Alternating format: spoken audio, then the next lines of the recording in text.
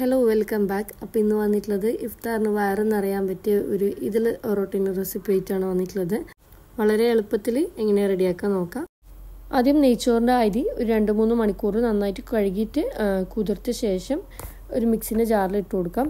ഇനി ഇതിലേക്ക് രണ്ട് ടേബിൾ സ്പൂൺ ചോറും ഒരു മുട്ട ആവശ്യത്തിന് ഉപ്പ് പിന്നെ വേണ്ടുന്നത് ഒരു തേങ്ങ ഒരു പിടി തേങ്ങ ഇട്ട് കൊടുക്കുക. മൂന്നോ നാലോ ടേബിൾ സ്പൂൺ തേങ്ങ ഇട്ട് കൊടുക്കുക. പിന്നെ ഒരു ഗ്ലാസ് വെള്ളം കൂടി ഒഴിച്ചിട്ട് ദോശന്റെ ബാറ്റർ പോലെ അരച്ചെടുക്കുക.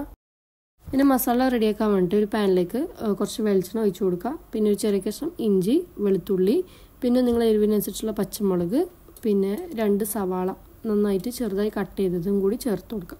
ഉള്ളി ഇതാ ലൈറ്റ് കളറായി വന്നിട്ടുണ്ട്. ഇനി ഇതിലേക്ക് കാ ടീസ്പൂണ് മഞ്ഞൾപ്പൊടി ആവശ്യത്തിന് ഉപ്പ് ചേർത്ത് കൊടുക്കുക. കാ ടീസ്പൂണ് ഗരം മസാല ചേർത്ത് കൊടുക്കുക.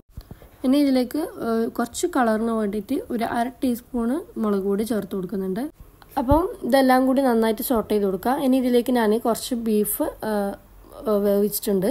അത് ഒന്ന് മിക്സിയിലിട്ട് ജസ്റ്റ് ഒന്ന് ഗ്രേറ്റ് ചെയ്തിട്ട് ഇതിലേക്ക് ഇട്ട് കൊടുക്കുന്നുണ്ട്. ബീഫോ ചിക്കനോ മട്ടനോ എന്താ വേണമെങ്കിലും ഇട്ട് കൊടുക്കുക ഇനി ഇതും കൂടി ഇട്ടിട്ട് നന്നായിട്ട് സോട്ട് ചെയ്യുക. എന്നിട്ട് ഒരു പത്ത് മിനിറ്റ് ലോ ഫ്ലെയിമിൽ വെച്ച ശേഷം നമുക്ക് ഫ്ലെയിം ഓഫ് ചെയ്തിട്ട് ബാക്കി സ്റ്റെപ്പ് നോക്കാം.